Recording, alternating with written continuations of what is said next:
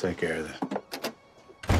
Why is Cole Hauser shattered? Cole Hauser's amazing performance as Rip Wheeler in Yellowstone has made him a sensation, but recently his followers have learned of his mother's passing. Cole Hauser's mother, Cass Warner, passed away just a few days ago, much to the surprise of his fans. What actually transpired with the mother of Cole Hauser? The actor shared a picture of them cuddling up on a horseback ride on the set of the well known program on Instagram. With a deep heart, I announce the death of my mom. At the age of 76, Cass Sperling Warner passed away. The world will miss her incredible energy, compassion, love, and humor, in addition to my family. Hauser captioned the photo. You have impacted so many people. I'm sure you'll be seated with all the great people who have ever lived in the sky.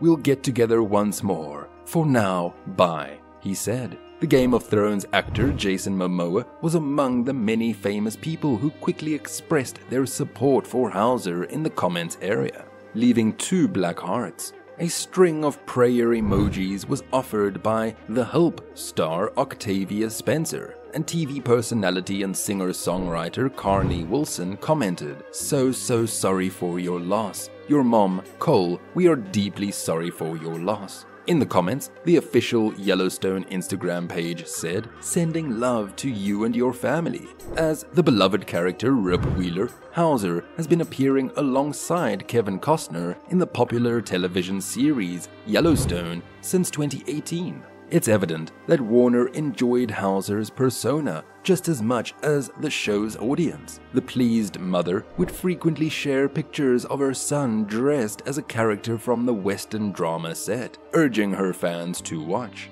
Looking forward to the actors' strike being resolved, as has the writers' strike, so that Hollywood can be creating quality projects, she said in the caption of a post. To the whole cast and crew of Yellowstone, I adore how Mr. Cole's shoulder is illuminated by the light. Warner worked in the entertainment industry herself. Being the granddaughter of Warner, the first president and one of the studio's founders, she received a dual education in filmmaking during her early years. After reaching adulthood, she founded Warner Sisters, a production firm that produced the documentary The Brothers Warner in 07. Hauser is waiting for the second half of Yellowstone's fifth and final season to start production. The actor told Esquire in October, I was worried that we might lose our audience before season 5, but it was quite the opposite. The fan community genuinely adores everyone, not just my persona. I find it quite remarkable that so many people are concerned. Many people are publishing false information online, claiming that Cass Warner is not related to the Warner family and that her surname only happens to resemble theirs. What was her relationship to the illustrious Warner family, and who was Cass Warner exactly? The late Cass Warner was a writer, filmmaker, and the granddaughter of Warner Brothers co founder Harry Warner. She was 76 years old. Cass's grandpa, Polish immigrant Harry Warner, the eldest of the Warner brothers, helped establish the company in 1923 after joining brothers Sam, Albert, and Jack in the early days of the film industry in 1905.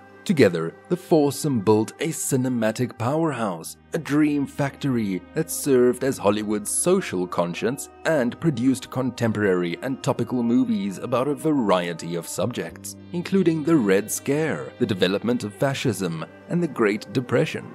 Betty Warner Scheinbaum, Harry's daughter, described her father as a very serious man in a letter. He served as the company's inspiration and conscience, Producer Milton Sperling, who had collaborated with former Warner Brothers Darryl Zanuck at Fox, wed Betty in 1939. Harry allowed Sperling to establish an independent production unit at Warner Brothers because he did not want his family members to work for the rival company. On March 8, 1948, Betty and Milton welcomed Cass into the world. She quickly began to observe her father's story meetings and pick up tips from the industry during the latter years of Hollywood's golden age. Howard Koch, the screenwriter of iconic Warner Brothers movies like Casablanca, The Seahawk, The Letter, and Sergeant York, also served as a mentor to her. Cass, who came from a family where every male member was involved in Warner Brothers production, she then decided to revolutionize the Warner Brothers production house by founding Warner Sisters, her own production company. Was she successful in her venture? Cass started Warner Sisters, a company that produces movies and television shows like Hopper, in his own words, in 2012, carrying on the family business legacy. In addition, she founded The Dream Factory, a non-profit that publishes motivational interviews with famous Hollywood people. Among Cass Warner's most well-known works are her 1993 book Hollywood, Be Thy Name, The Warner Brothers Story, co written with her father and Jack Warner Jr. The book was later retitled The Brothers Warner to match the title of the feature documentary of the same name which has won her an HBO Films Producer Award. The Brothers Warner was televised in condensed form as part of PBS's Excellent American Masters series. In addition, Cass frequently visited guests on the Warner Brothers studio tour, where she engaged in storytelling and imparted family history to tour guides. Cass has been adding to Warner history in recent years by posting both new and old interviews on her website. Her immediate relatives, as well as studio employees such as actor James Garner and Harry's final secretary, Lois McGrew, provided insightful accounts of the difficult journey leading up to Warner Brothers' 1956 sale. Cass addressed filmmaker Frank Capra's statement regarding the duty of films on her website, Warner Sisters. This was understood by my family, she stated. They knew how many people they could reach and how powerful this medium could be. They were aware that they were establishing norms, introducing and influencing ideas, and playing a key role in shaping culture to come. In 1939, Groucho Marx referred to Warner's as the only studio with guts for opposing the Nazis and breaking the production code. Warner Brothers was in fact credited in 1943 by the New York Times for combining good citizenship with good picture making. Cass was a mother of four children. The most well known of them is Hauser, who has had a prosperous Hollywood career. Son Jesse Poole works in advertising. Daughter Tao Gaines is an entrepreneur, and daughter Vanessa Mooney is a designer. She was married three times in 1970 to 1972 to Wings Hauser, in 1974 to 1977, and in 1977 to Glenn Allen Poole. Cole Hauser has recently made headlines for all the wrong reasons. Quadruple Six, the intended sequel to Yellowstone Season 5, has fans worried about what will come to Rip Wheeler because of a lawsuit that actor Cole Hauser filed. Will Cole Hauser's appearance in Yellowstone come to an end? Fans of Yellowstone are curious about the implications of Taylor Sheridan's recent lawsuit against Cole Hauser, who plays Rip Wheeler, for both the character's destiny in the impending season finale and the show's Quadruple Six planned sequel.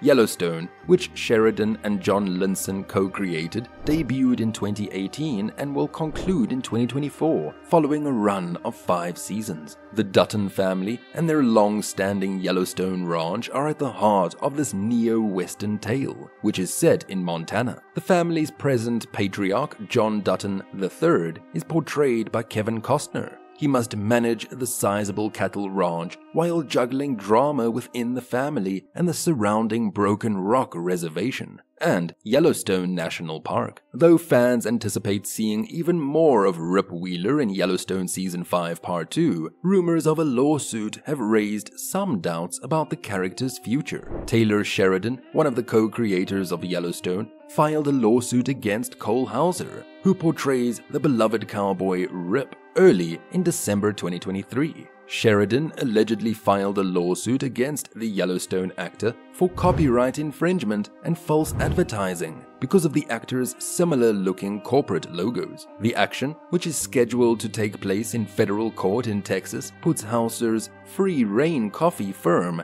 against Sheridan's Bosque Ranch. The fact that both brand logos resemble actual cattle brands may be confusing. Sheridan's firm alleges that Hauser's free rein is attempting to mistake or deceive it as affiliation, connection, or association with Bosque Ranch, in addition to infringement of trademarks. It isn't surprising that Sheridan and Hauser would both want to emulate one of the most recognizable images from the show in their other professional endeavors, considering how distinctive the Yellowstone Ranch's cattle brand is in the series. Ultimately, the wildly successful Paramount series catapulted both of them to unprecedented levels of popular culture prominence and awareness. However, the lawsuit undoubtedly throws a spanner in the works for both the business relationship between the two and possibly for the Yellowstone's last season. Do you believe Cole Hauser is back at work after overcoming the tragedy? Do share your thoughts with us in the comments section. For more interesting stories and updates, subscribe to the channel. Click the bell icon for notifications. Until next time,